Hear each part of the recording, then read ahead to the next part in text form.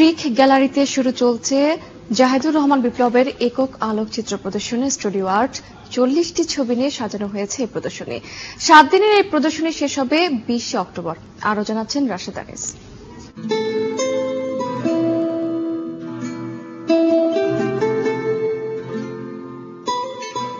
Model photography নিয়ে সাজানো হয়েছে এই প্রদর্শনী।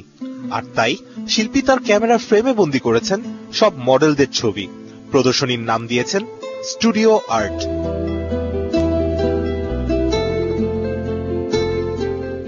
আলোকচিত্রী তার তোলা ছবিগুলোতে মডেলদের পোশাক, ব্যক্তিত্ব, অভিব্যক্তি, সবকিছুকেই যেন ছবির ভাষায় তুলে ধরতে চেয়েছেন।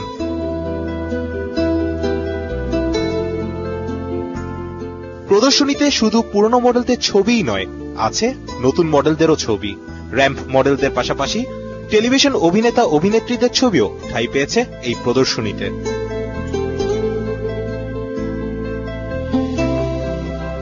ফ্যাশন নিয়ে আলোচিত্র বলেই হয়তো প্রদর্শনীতে ছিল অনেক দর্শক। প্রদর্শনী দেখতে ভিড় জমান নতুন পুরনো সব মডেলরা। ছবিগুলো দেখে আসলে খুবই ভালো লাগছে। এরকম একটা প্রদর্শনীতে আসতে পেরে আমি খুবই আনন্দিত। খুবই ভালো লাগছে। বিপ্লব ভাই অনেক ভালো একটি ফটোগ্রাফার স্পেশালি বলতে গেলে ওনার লাইটিং সেন্স সবচেয়ে ভালো। এখানে আমাদের ছবিও আছে যারা ফ্যাশন মডেলিং করছি আসলে।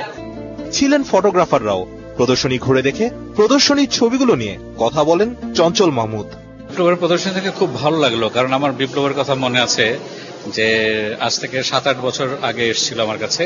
তার ছবিগুলো নিয়ে, আমার এক বন্ধুর রেফারেন্সে তো ওই ছবির সঙ্গে তার এই ছবির অনেক অমিল।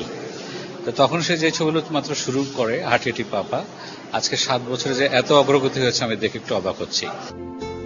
ছবিগুলো তুলতে সবচেয়ে বেশি গুরুত্ব দেয়া হয়েছে লাইটিং ও ব্যাকগ্রাউন্ডকে প্রদর্শনীটির আয়োজন নিয়ে কথা বললেন আলোকচিত্রী জাহিদুর রহমান বিপ্লব। কিছু কিছু ছবি আপনি দেখলে হয়তো ভাবতে পারেন যে ছবিটা হয়তো একটা মানে মেকি ছবি বা ফটোশপে এটা আমি ক্রিয়েট করছি বাট না।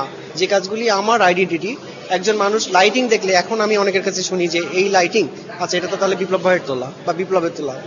সো এই যে সিগনেচার ওয়ার্ক বা সিগনেচার রাখা ছবির সাথে যে জিনিসটা, আমি আমার নিজস্বতা বিশে অক্টোবর পর্যন্ত প্রতিদিন বেলা তিনটা থেকে রাত আটটা পর্যন্ত চলবে প্রদর্শনীটি।